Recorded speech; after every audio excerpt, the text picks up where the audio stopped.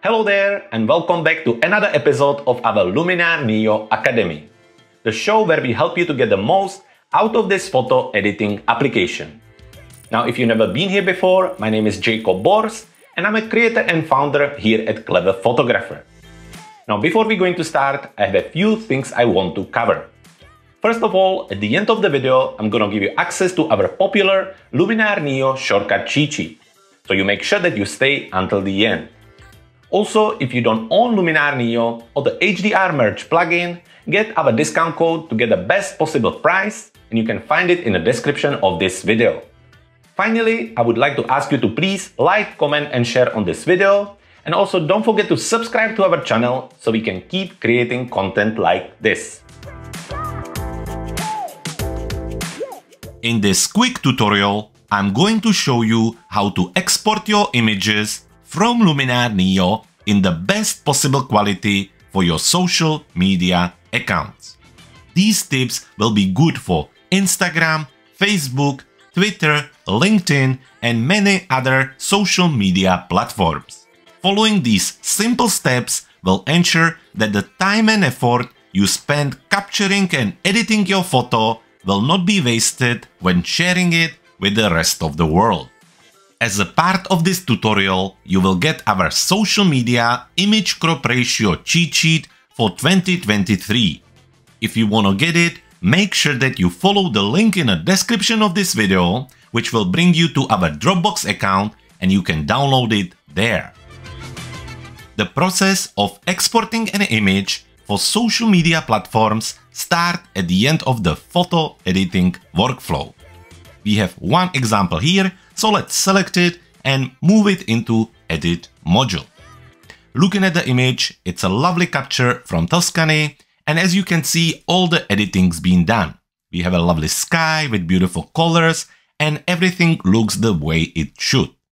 So now I know that I want to export it for one of the social media platforms the first thing I need to do, and that will apply for all the platforms, is to add extra bit of sharpening. And the reason why we're going to do this is that the people will view this image on much smaller screens than the one we have home. So how we add extra sharpening? Well, for this, we're going to use the develop tool on our main toolbar. Let's click on it to open it. And then right in the middle, you can see the sharpness tab. Before we're going to adjust the sharpness, we want to zoom in. We can use Command or Control plus, or we can use the shortcut at the bottom of our screen. Usually around 100 or maybe even 200 should be more than enough. It really depends on your image and on the subject.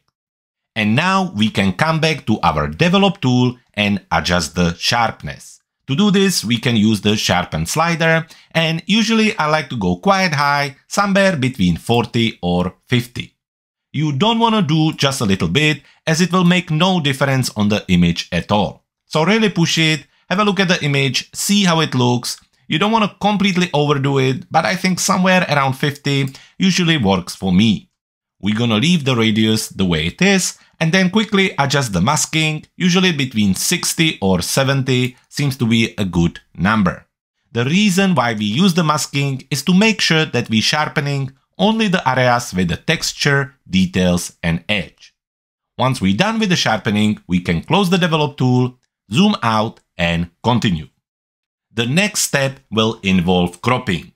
Yes, you are right. Most of the social media platforms will allow you to crop the image there.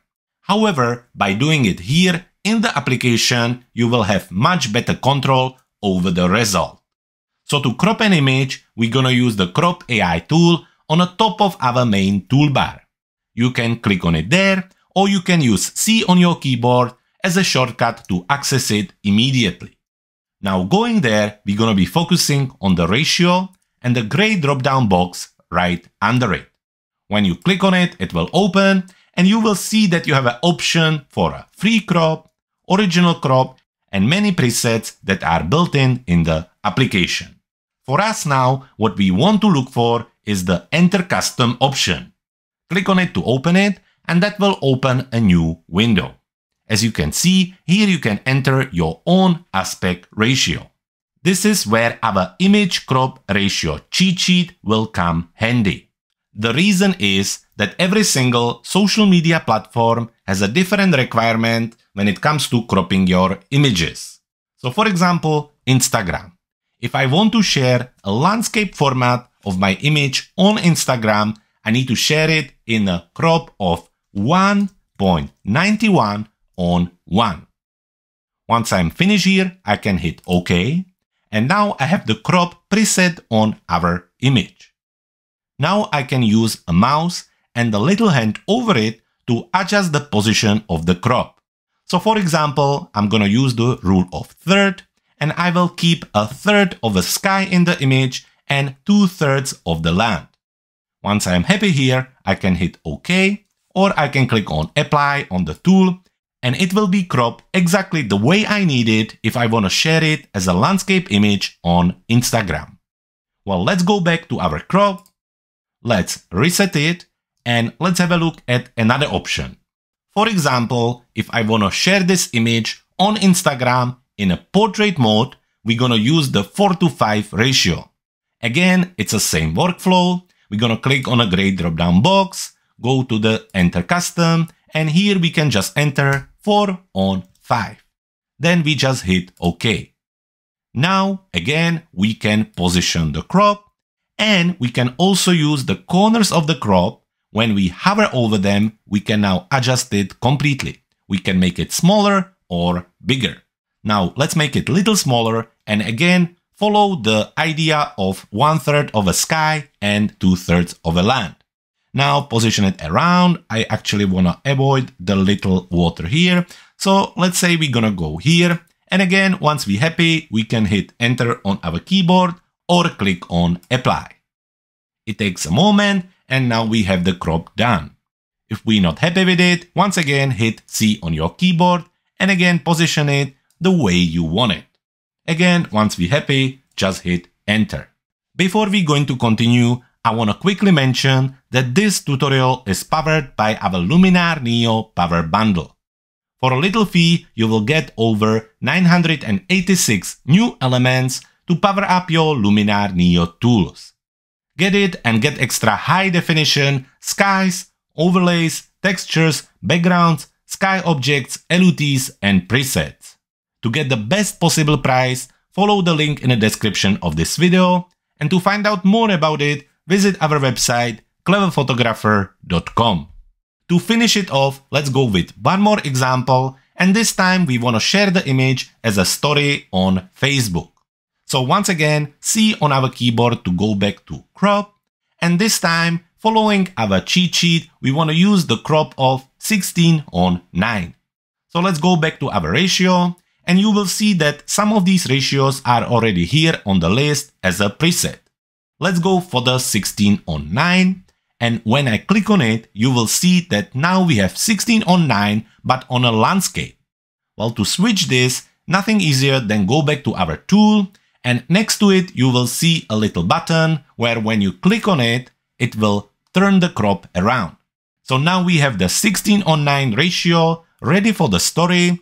And once again, we can position it around and we can use the little handles to adjust the size of the crop. Once we're happy with it, once again just hit enter and we are done. So now we have added extra sharpening and we have cropped the image following the requirements of the specific social media platform. The only thing that is left is to export the image.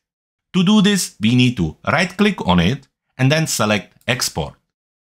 This will open a new window and the first thing you want to do is to navigate towards the location where you want to save it. I will choose the sample file folder. And the next thing we want to do is to rename it.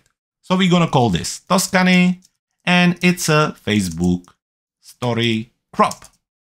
Once we're done naming it, we need to make sure that we select the right format. First of all, we are looking for JPEG. After that, we're going to start from the top. We don't want to add any sharpening and in resize, we want to make sure that we keep it to original. We don't want to do any resizing here.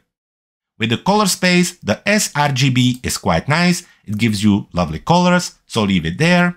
Once again, the format should be JPEG, and with the resolution, go for the 300 pixels on inch.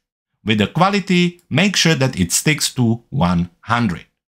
Once you finish here, all you need to do is to click on Save and wait a moment for the application to export your image. Now we have our image exported and it's ready to be shared. Before we going to finish, one more tip. If you're going to move your image from your desktop or computer into your mobile device where you're going to upload it, make sure that you use service like Dropbox or AirDrop to avoid losing any additional quality.